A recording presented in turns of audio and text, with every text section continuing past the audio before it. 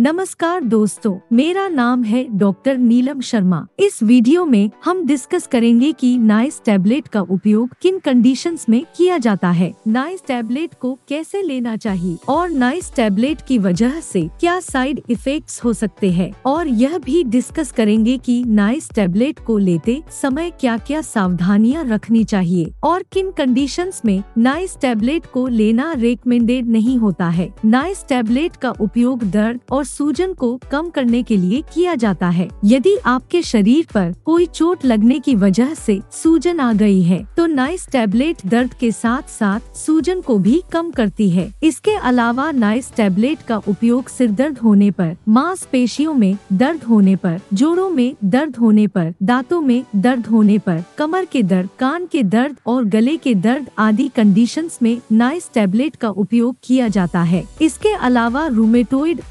Arthritis और osteoarthritis में दर्द और जोड़ों की सूजन को कम करने के लिए भी नाइस टैबलेट का उपयोग किया जाता है। नाइस एक ब्रांड नेम है। नाइस टैबलेट के अंदर सॉल्ट कम्पोजिशन निम्सुलाइट सो एम होता है। दोस्तों, कृपया वीडियो को लाइक करना न भूलें। अब हम डिस्कस करेंगे कि नाइस टैबलेट को कैसे लेना रिकमेंडेड होता है। नाइस टैबलेट को खाना खाने के बाद लेना रिकमेंडेड होता है। 18 वर्ष से अधिक उम्र के ज़्यादातर व्यक्तियों को डॉक्टर नाइस टैबलेट को दिन में दो बार लेने की सलाह देते हैं। कुछ व्यक्तियों को डॉक्टर केवल दर्द होने पर ही नाइस टैबलेट को लेने की सलाह देते हैं। नाइस टैबलेट की खुराक उम्र शरीर के वज़न और बीमारी की गंभीरता के आधार पर कुछ व्यक्तियों में इससे अलग भी हो सकती है। इसलिए नाइस टैबलेट को लेने से पहले डॉक्टर से परामर्श लेना चाहिए और डॉक्टर की सलाह के बिना नाइस टैबलेट को नहीं लेना चाहिए। अब हम डिस्कस करेंगे कि नाइस टैबलेट की वजह से क्या साइड इफेक्ट्स हो सकते हैं। नाइस टैबलेट के सामान्य साइड इफेक्ट्स में बदहजमी, पेट में दर्द, पेट में जलन, कब्ज, उल्टी आना, उल्टी आने का मन होना, दस्त और लिवर एंजाइम बढ़ सकते हैं। ज़्यादा लंबे समय तक नाइस टैबलेट को लेने से किडनी व लिवर डैमेज हो सकते हैं और शरीर में खून की कमी हो सकती है। इसके अलावा लंबे समय तक या ज़्यादा खुराक में नाइस टैबलेट को लेने से पेट में ब्लीडिंग पेट में अल्सर या गेस्ट्रोइंटेस्टाइनल परफोरेशन हो सकती है। गेस्ट्रोइंटेस्टाइनल परफोरेशन होने पर पेट या आंतों के अंदर छोटे छोटे छिद्र हो जाते हैं और लंबे समय तक नाइस टैबलेट का सेवन करने से दिल का दौरा और लकवा लगने का रिस्क भी अधिक हो जाता है। अगर आप नाइस टैबलेट का सेवन कभी कभार करते हैं तो ऐसे में ज़्यादातर व्यक्तियों में कोई साइड इफेक्ट्स नहीं होते हैं। अगर आप नाइस टैबलेट को दिन में कई बार या ज़्यादा लंबे समय तक लेते हैं। तो ऐसी स्थिति में नाइस टैबलेट की वजह से साइड इफेक्ट्स होने का रिस्क भी अधिक हो जाता है। अब हम डिस्कस करेंगे कि नाइस टैबलेट को लेते समय क्या क्या सावधानियाँ रखनी चाहिए और किन कंडीशंस में नाइस टैबलेट को लेना रिकमेंडेड नहीं होता है। पेट में अल्सर होने पर, पेट या आंतों में ब्लीडिंग की समस्या होने पर, किडनी, लिवर या दिल से संबंधित कोई गंभीर बीमारी होने पर नाइस टैबलेट को लेना रिकमेंडेड नहीं होता है। इसलिए इन कंडीशंस में डॉक्टर की सलाह के बिना नाइस टैबलेट को नहीं लेना चाहिए। अगर किसी व्यक्ति को नाइस टैबलेट या इसके किसी भी इंग्रेडिएंट से एलर्जी है तो ऐसे व्यक्तियों को नाइस टैबलेट का सेवन नहीं करना चाहिए और इसके बारे में डॉक्टर को भी बताना चाहिए। अब हम जानेंगे कि क्या प्रेग्नेंट महिलाएँ और स्तनपान करा रही महिलाएँ नाइस टैबलेट को ले सकती है या नहीं। प्रेग्नेंट महिलाओं के लिए